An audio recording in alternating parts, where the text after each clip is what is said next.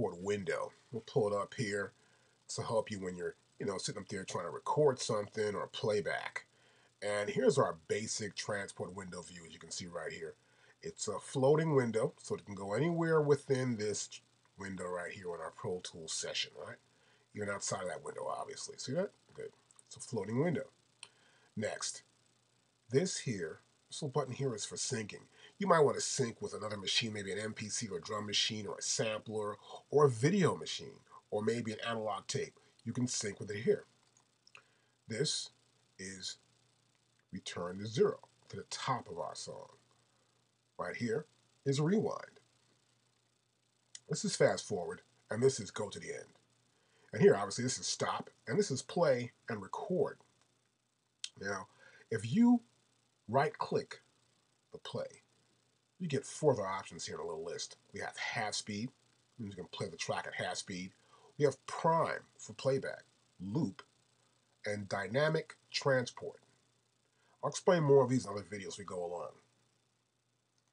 Right now, this can give you a great overview of our transport window. Here we have record enable.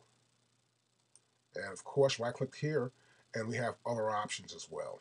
We have normal, or selected, loop record, destructive record, and record quick punch.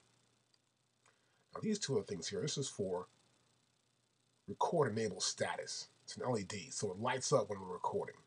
And this is input status LED. Let's light up we want to see the inputs of several tracks going by. You may be playing a song and you'll see the input levels play. It'll give you an idea of what's going on the input levels into that track. If something's here recording in, we'll see the input levels. Here, this little button here opens up more options. We can add a counter in case you want to know where we are in the session. I'm not too sure where we are. You know the counter's right here in our overall top toolbar, you can put the counter right here in our floating transport window. And we can change our counter to any counter uh, parameter we want to have, whether it's going to be minutes and seconds, time code, feet and frames, and samples. Now, I like to have an expanded view sometimes. So I'm going to go here and we'll click expanded transport. And here we can see just about everything that comes with this transport. We can also add MIDI control. We can add synchronization. And I can see everything. I can go to minimal or all.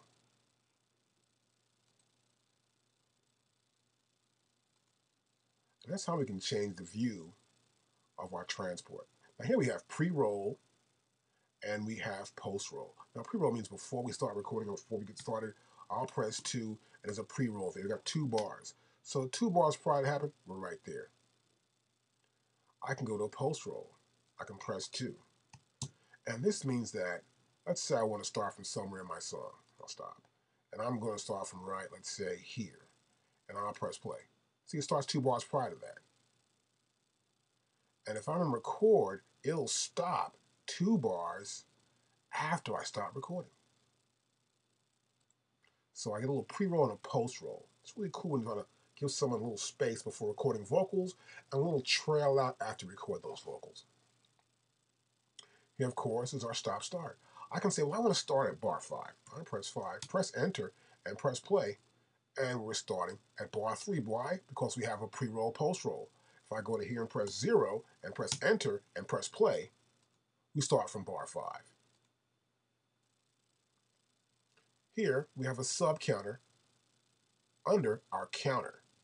So for example, here you see I have the beats and bars, my top counter, and a lower counter, I'm controlling the minutes and seconds. Now here, we have wait note for MIDI.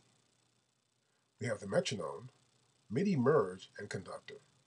I'll cover more of these later on other videos as we talk further about recording within Pro Tools. Now next I want to show you one more thing here in case you want to have that. Let me close this out. And I go here to window and go to big counter.